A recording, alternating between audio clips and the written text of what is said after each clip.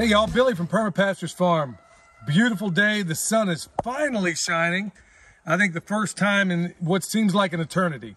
But hey, it's shining and um, it's a day the Lord hath made and I will rejoice and be glad in it, no matter if it's shining or not.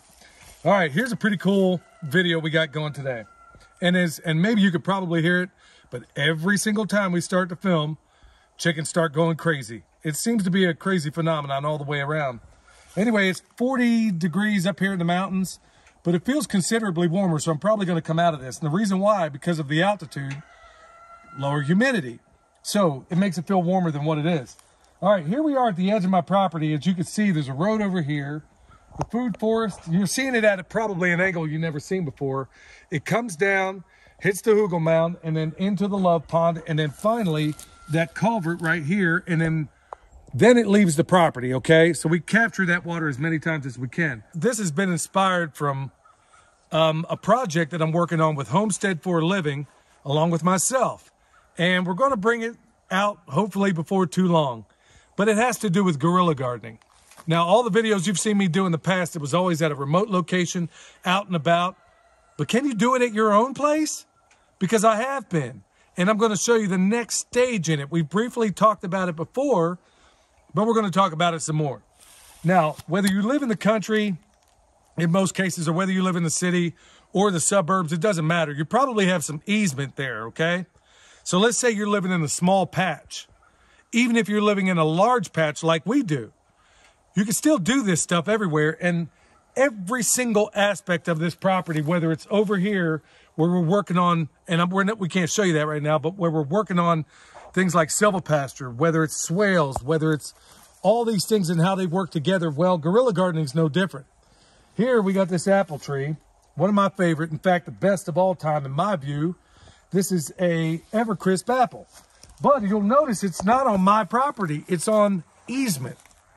Okay, so ask yourself, how many easements out there where the government is supposed to look after and they don't, or they don't do it very often? Maybe you maintain it like I do. So they have no impetus to come in here and mow things down. Because if you look over here across the street, what they'll do periodically is they'll run through with these mowers that sit on tractors and they can articulate these things sometimes and knock out some of the trees that may be getting into the road. Well, if you keep it down, they will drive by, at least where I live, and it's probably the same place where you live. The thing is, okay, look, I know there's some great government workers out there, but I used to be one myself. And they're not going to go out of their way to do more if they don't have to. I'm going to show you how we get around that. All right, here we are at another spot that's still, right here is my fence, okay? And so technically I'm on an easement. Obviously there's a road. Well, what we've noticed is that when they come by and mow, if I keep this maintained, they won't mess with it. So if you're wondering, okay, do I have property I can work with? Well, here's a prime example why. In permaculture, it's not just about producing enough food for us, but it's also for, you know, the environment, also for maybe, remember, there's earth care, people care, and the abundance given to the previous two, at least how we see that third ethic. Well, this is on the outside of my property. And this is meant for any passersby to be able to help themselves. Plus, I mean, it was also solving a problem for me. I have way too many trees and stuff, and I didn't have places up the driveway where I'm currently running the orchard to be able to put them. So I'm thinking, okay, why not do some guerrilla gardening on property that isn't mine? So over here, I'm not going to be able to show you, there's an Anacovia apple right up here. On the other side, American chestnut that seems to be doing quite well. Um, we can go over here and take a look at it. Here's the apple. Here's some of the deadfall that was already down here. Um, looks like it's going to work out. Um, over here is an American chestnut, and I got it higher in the landscape because the sun tracks across the sky like so. So if this thing grows up, and it looks like it's doing okay so far, it's going to be a very big tree, and it's going to be around for a long, long time. These trees are on the bottom side of it, basically on the south side of it, okay? So what I got also down here are more apple trees. Well, you might be saying at the same time, well, hang on, man, this ain't no permaculture orchard. Yes and no. The issue I'm dealing with is because it is property that is not mine officially, um, I can't do it to the intensity that I would a permaculture orchard or a food forest because it has to look somewhat clean for the powers that shouldn't be, okay? So the best I can do in a situation like this is what I've already done. I went back, put down cardboard, got these in, put in my daffodils, put in the garlic, put in the guild basically around here and put deadfall around it because it was already laying here. But I also need to do things that are also going to help it out. So I'm trying to find that happy spot between being clean enough to where nobody's going to feel the compulsion to want to come over here and mow it down.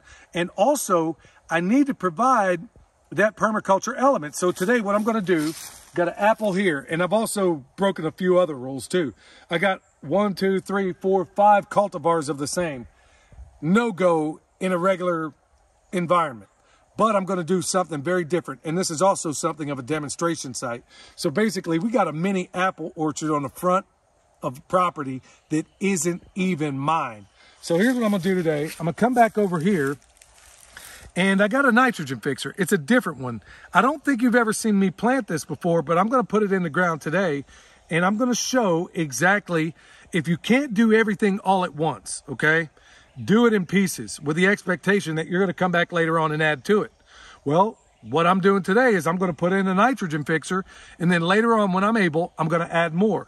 Now that nitrogen fixer, it's going to be a false indigo. Now, what I've done up the what I've done in other examples is where I will literally stick it in the same mulch ring as my productive tree with the expectation that I'll come back later on and coppice it every time I need to. I'm not going to be doing that this time. This is actually going to be standing maybe right about here or I might decide to put it over there. Either way, it's going to have spacing in there to show the order that the city wants to see, or not the city, but the county wants to see, but also providing that element of nitrogen fixation that I want this tree to do. Take that atmospheric nitrogen, put it down in the soil for the benefit of these trees. All right, over here we got an apple. Over here we got an apple. And right in between them is where this false indigo is going to go. Now I got nothing more than a shovel and cardboard. Now, unlike a typical productive tree, unlike that tree, I don't have to give it anywhere near the TLC that you have to, you know, this tree is not going to require any of that. And here's that little trick I got from Stefan Sobkowiak, permaculture orchard guy. You've heard me talk about him numerous times. Is use your cardboard that you're going to use to mulch as a means to put your soil, okay? Now, having dealt with these nitrogen fixers, I know that I don't have to go any, it requires nowhere near the care of planting. So I'm gonna take this, mix that up a little bit, maybe get a little bit more out of that hole.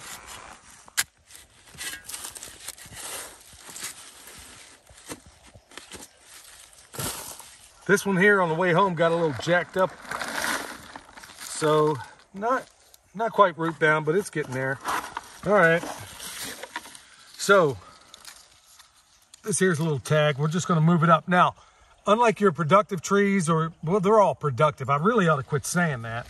Unlike the other trees you deal with, most of your nitrogen fixers require nowhere near the TLC. Now, this is a false indigo, so be warned that certain grazing animals that you may have are probably going to want to eat it if you have it in close proximity to them. Um, is it going to kill them? Some people will say, yeah. But I'll say this again, and I got to do this as a disclaimer in today's litigious society, is I have never seen an animal eat something to the point it kills it when they had availability of things that it could eat. So there's your disclaimer. All right, so I'm gonna basically get this in the ground. And like I said, I don't have to necessarily follow all the rules that I would when dealing with a productive tree. So I'll get this in here, stick it a little bit high. Now keep in mind also, y'all, when you do this sort of thing, when you're out there doing this guerrilla gardening and you're looking for all these different ways in which you can make it happen and in places you can make it happen. Remember, when you're, this is a big thing here. If you're working on property that isn't yours, and you have the potential of being able to work with somebody whose property it is, if this is one of the things you're doing, make sure when you sell this to them, you constantly tell them how they benefit, okay? You constantly tell them how they benefit. So here it is, that was that grass. I'm gonna turn it upside down. Another little trick from Mr. Sobkowiak. And here's the cool thing is that when you're all done, you didn't get all your soil lost down in the grass. How cool is that? Now, if this were a productive tree, you've seen me do it before. I'd put down manure, I'd put down cardboard, put down compost, and put down mulch. When it's a nitrogen fixer like this, it's a very robust tree. It really doesn't require a whole lot of intervention, but I always do it anyway. And I'm gonna, once again, show you this little trick I came up with a long time ago. All I'm gonna do is cut a Y in it, like so, and then it's going downhill like this. So I'll push that back, slip it around my tree,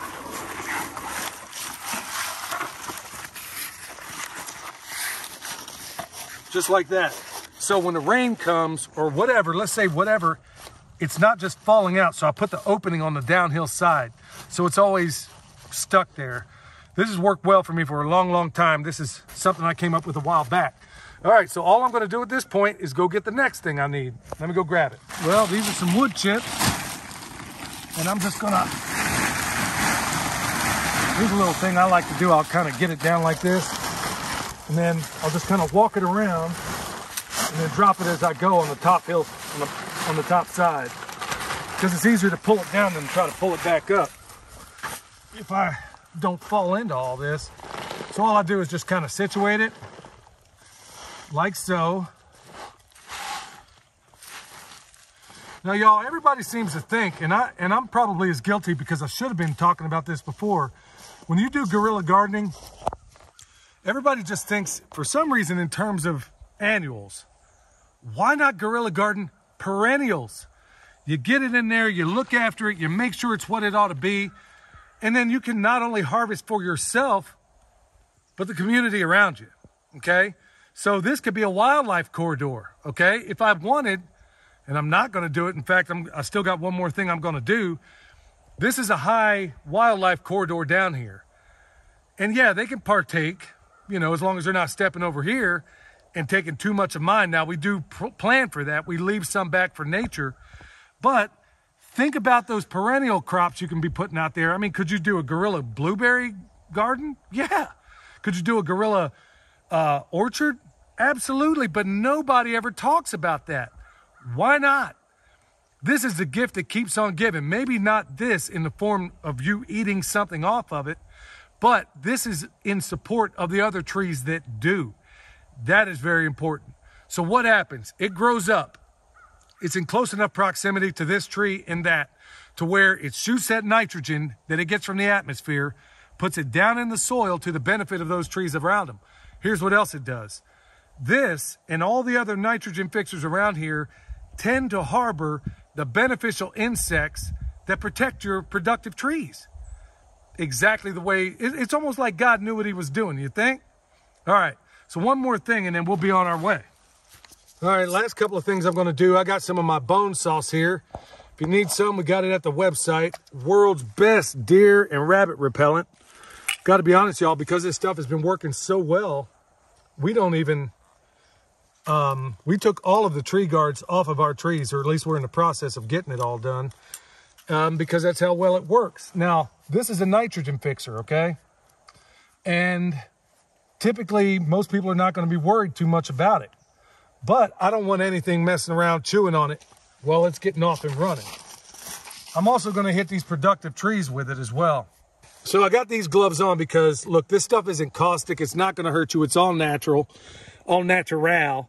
Ain't going to hurt you in any kind of way, but honestly, you get it on you, you're going to smell it for a while, okay? Some people, the smell is very disgusting. To others, it isn't. Let me tell you how far I'm going to go out here because typically whenever we put in an orchard or a food forest, it's to, we're to do everything we can to try to replicate nature and put all seven layers in there. Remember, I'm out here dealing with people that don't necessarily know what that is. Now, let me tell you this. First of all, make as many allies and partners as you can, not only with the wildlife, but also with the people that are potentially mowing. When I see them, I guarantee you, I'm going to roll out here. I don't care who's on that tractor. I'm going to hand him a couple of things of honey. There's a reason we, we don't sell the honey. It's used for goodwill. It's good for, it's good for gifts. It's good for bartering. That's why we don't sell it. So when I see him or her, it's typically a guy. When I see him down here doing this thing or I see him alongside the road, I'm going to go up real quick, flag him down. Hey, thank you for your service. Thank you for what you're doing. My name is Billy. I own Permapastures Farm. When you come down here, man, I got these trees I'm really trying to save. Look, here's some honey. Can you make sure you not hit them now or forever? Believe me, they're going to want to work with you. Okay, how cool is that? But at the same time, I can't go crazy. So here's how far I'm going to go. I'll put, I'm not going to do it right now, but eventually I'll have a ring of daffodils. And I'm not going to worry so much about, not daffodils, of garlic. I'm not going to worry about the daffodils so much because I'm not really worried about pests messing with this tree. Because we've also noticed that, and I'm not prepared to say this for sure yet, but this stuff seems to be working on the voles as well. Um, and we're also bringing other allies to bear for that as well. But the only thing I'm going to do is that every maybe corner of this, I'm going to put in comfrey. Okay. I'm going to put it just on the outside of this mulch ring. That's all I'm going to do. I'm not going to add the other layers. It's just going to be this nitrogen fixer, comfrey, and that is it. Because I can't go crazy. Um, I got to be able to make sure. And in fact, I want this to be something that people that have never heard about permaculture can actually either walk by. There's a lot of cyclists out here. A lot of people that walk by go for their walks. They come by, see these apples, they help themselves. And I'm not even done with the fruit trees that are going to be out here. I can put another line up here and also put some in between. That's exactly how it's going to work, y'all. So if you need bone sauce, if you need comfrey, go check us out at the website. Need a freeze dryer, EMP shield, it's all down below. Hey, y'all, hopefully this video has been a blessing to you. And remember, it's fall. It's that time of the year where you can be putting in tons and tons of trees. We always prefer to do it in the fall. Maybe where you live, it might even be winter. But take your time and do not only the guerrilla gardening, but think about guerrilla gardening with perennials. How cool is that, y'all? All right, y'all. Hopefully this was all a blessing to you. Till next time, this is Billy from Permapastures Farm, where permaculture is my passion. And doing stuff like this really puts the exclamation point on it. All right, y'all. We'll see you next time.